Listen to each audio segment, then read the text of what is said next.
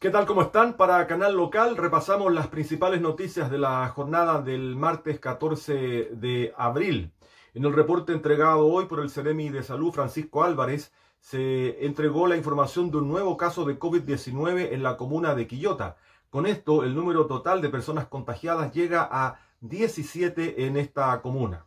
En tanto, en Hijuelas se decretó el uso obligatorio de mascarillas para todos los espacios públicos y el cierre de las botillerías a partir de las 19 horas. Esta medida comenzará a regir el día miércoles, este miércoles 15 de abril en la comuna de Hijuelas.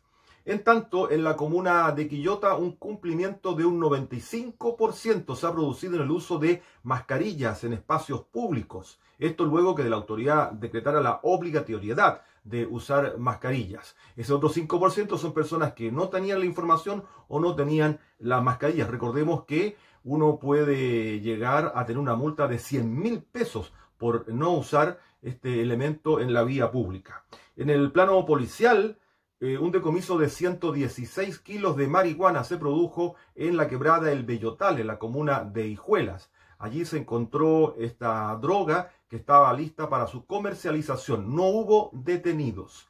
Vamos finalmente con el informe del tiempo para este miércoles.